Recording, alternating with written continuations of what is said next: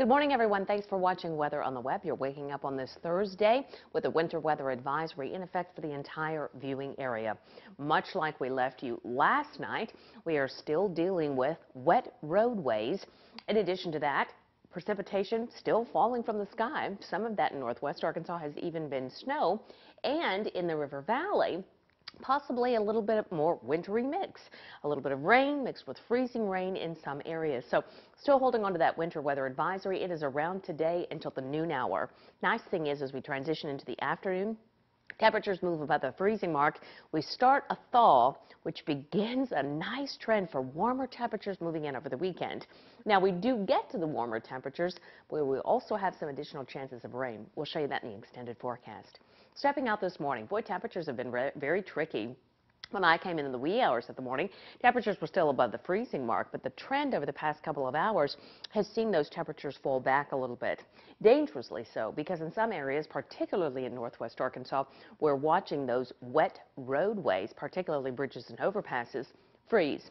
Bottom line, be cautious out on the roads this morning keep that caution with you throughout the better part of the mid-morning, at least until the noon hour. Temperatures move above the freezing mark at that time and the roads will begin to thaw. This is the big picture. A lot of the energy really has moved toward the central part of the state at this point. We don't see a whole lot of additional reinforcement, some, but not as much. I want to take you into the River Valley. Yesterday, River Valley was the focus. You know, with all of the accidents on 40 yesterday from Little Rock even past Fort Smith. This morning, however, the line of demarcation seems to be anywhere south of Sallisaw on 40 to Fort Smith, all the way back to Boonville we are looking at primarily south of the interstate rain. However, around Ozark, it was very tricky yesterday and is again this morning right around 40 in the Ozark area. Uh, definitely looking at some freezing rain and back into Fort Smith, anything north of 40 is freezing rain as well. Again, caution. As we move into northwest Arkansas, things have calmed down considerably this morning, although we do have some snow in places like Bella Vista. Even Decatur seeing a little bit of a wintry mix up there, a little bit of snowfall. Now that will all subside. Ice is our primary concern, and on the ice scale today, we give it a 4. As we've said so many times, black ice bridges and overpasses, some of the higher elevations for sure. And again, a little bit of snowfall in the northern part of Benton County, just along the Missouri border. So what does this all mean for you as we transition through your Thursday forecast? Touch and go conditions this morning. Again, the advisory expires at noon. Tonight, we see partly cloudy skies, temperatures not as cold, so the refreeze is not going to be around tonight, which is fantastic news.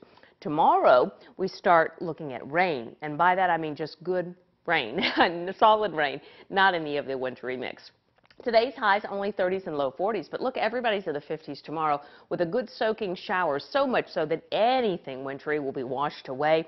And then we start really new weather for the upcoming weekend with partly cloudy skies on Saturday and Sunday. And look at these nice warm temperatures, even some 60s in the River Valley. Transitioning into the first of next week, we stay dry, but we do begin to get slightly cooler as we move through Tuesday and Wednesday. Again, winter weather advisory until noon today.